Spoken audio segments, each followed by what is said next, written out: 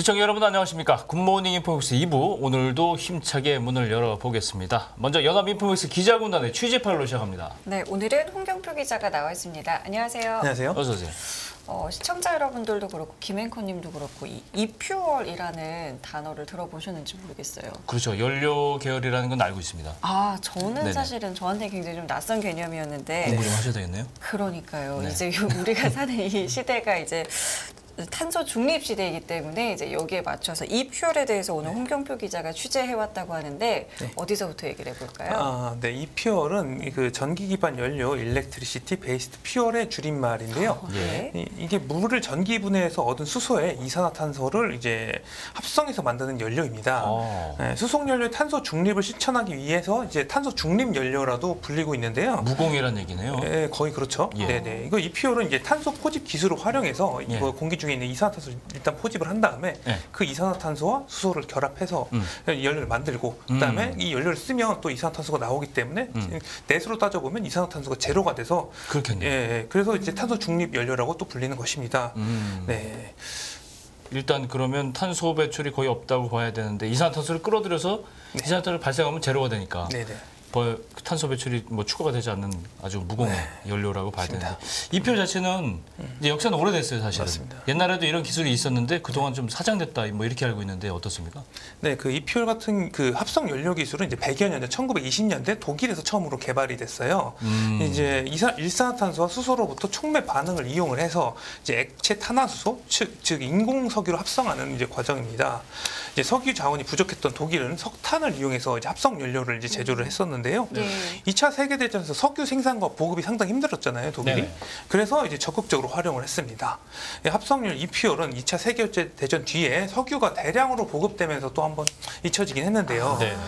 이 석유 파동 당시에 이제 주목을 받기는 했는데 예, 여전히 세- 석유를 생산하는 게 더 저렴했잖아요. 그래서 그렇죠. 또 다시 또 사장이 됐습니다. 아. 네. 그런데 이제 탄소 중립 시대에 신재생 에너지가 주목을 받고 있고요.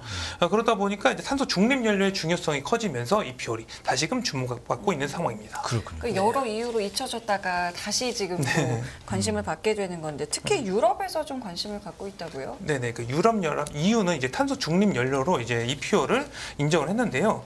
이는 이제 최근 글로벌 친환경 연료 시장에서 이 퓨얼이 다시금 이제 주목받게 된 계기가 됐습니다. EU는 올해 3월 내연 기관 신차 판매 금지 계획을 일부 수정을 했는데요. 기존에는 가솔린 및 디젤 등 내연 기관 신차를 2035년부터 이제 전면 금지 아, 이게 하는 방안을 추진을 했는데 네. 독일의 강력한 반발로 이제 이 퓨얼을 사용하는 내연 기관 신차 판매를 예외적으로 허용하기로 했습니다. 그렇군요. 그러니까 독일 같은 경우 자동차 생산이 거의 엄, 엄청나잖아요. 네. 아, 그러다 보니까 갑자기 그 내연 기관을 이제 중단해 버리면 상당히 타격이 크기 때문에 음. 반발했던 것으로 보이고요. 그렇군요. 또 EU는 이 표를 활용한 내연 기관 이제 차량 판매가 허용된 만큼 향후 시장 개척을 위한 이제 연구 개발을 지속할 명분이 생긴 것이죠. 그렇죠. 네. 또 EU는 항공유에서도 이표 혼합 의무화를 제시 를 했습니다. 음. 항공기는 높- 연료의 높은 에너지 밀도와 동력 시스템 안정성이 요구가 되잖아요. 네. 에, 전기차와 같은 전동화 전환이 쉽지 않을 것으로 또 예상이 되고 있습니다. 네. 어, 항공기는 또 기존 화석 연료에 비해서 그러니까 항공 기체가 크다 보니까 배터리가 엄청 큰 배터리가 들어가야 되는데 그렇죠. 이게 또 그럼 무거워지면 또 이제 연료 효율이 또 안 좋아지고 그러다 보니까 음. 이제 쉽지가 않죠. 또 수소 전지도 뭐 이제 좀 주목받고 있는데 전기 배터리보다는 가볍지만 여전히 무거워서 음. 그 상용화까지는 많은 시간이 좀 필요할 것으로 또 전망이 되고 있습니다. 예. 이에 따라 EU는 2030년부터 항공기에 있어서 e-fuel 혼합 의무화를 제시하기도 했습니다. 역시 유럽은 뭐 탄소 중립과 관련해서는 엄격한 뭐 선도하고 있다고 봐야 되는데 네. 그래서 이제 이 이슈가 이제 나오는 것 같은데 음.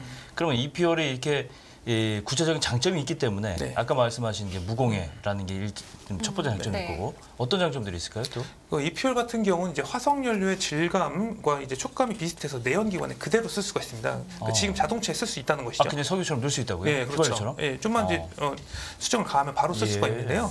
이제 전 세계에서 전기차와 수소차 이제 생산이 늘고 있지만 내연 기관차를 완전히 대체하기는 오랜 시간이 필요할 것으로 네네. 지금 예상이 되고 있어요. 그렇죠. 네, 이제 국제 에너지 기구의 탄소 중립 시나리오 한반도에 따르면 2050년에도 내연기관 차량의 비중은 60%를 차지할 것으로 예측이 되고 있습니다. 예. 그러니까 이 2030, 2050년에도 60%는 이미 아직도 그 내연기관 차라는 것이죠. 전기차가 다 이게 그렇죠. 도배가 되는 게 아니라 예, 예. 네, 이 퓨얼은 기존 내연기관 차량은 물론 화석 연료 운송 및 보관 시설 등 기존의 인프라를 그대로 쓸 수가 있는 것이죠. 예. 예, 그래서 전기차와 수소차 보급이 빠르게 이루어지지 않더라도 현재 음. 내연기관을 유지하면서 탄소 중립을 이룰 수 있다는 게 장점으로 볼 수가 있습니다. 그렇군요. 사실상 이게 전기차가 보급된 이유가 이게 네. 탄소 중립, 뭐 친환경 때문에 네, 보급이 네. 됐는데 그렇죠. 굳이 뭐 이 내연기관이 치- 탄소 중립 이룬다고 하면은 굳이 전환할 필요가 없는 것이잖아요, 사실. 그렇죠. 예. 예. 또 연간 8천만 대 이상 판매되고 10억 대 이상 운행되는 자동차 시장에서 예. 내연기관 100% 대체를 만약에 이퓨얼로 하게 될 경우에 네.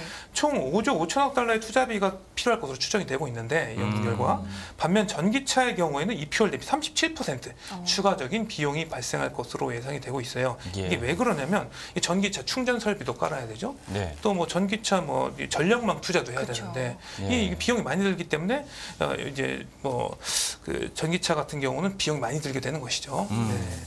또이 퓨얼이 에너지 캐리어 역할도 수행을 할 수가 있습니다. 네. 최근에 수소가 신재생 에너지로 떠오르고 있는데 수소 같은 경우 또 액화를 해가지고 운송을 해야 하기 때문에 네. 상당히 또 비용이 많이 들고 또 보관이 힘들잖아요. 또 네. 위험하다는 뭐 이야기도 있, 긴 하지만 근데 이 퓨얼은 보관과 수송이 사실상 기존 인프라를 써서 용이하기 때문에 넓은 범위에서 이제 공급책으로 활용이 가능하다고 볼 수가 있겠습니다. 그렇군요.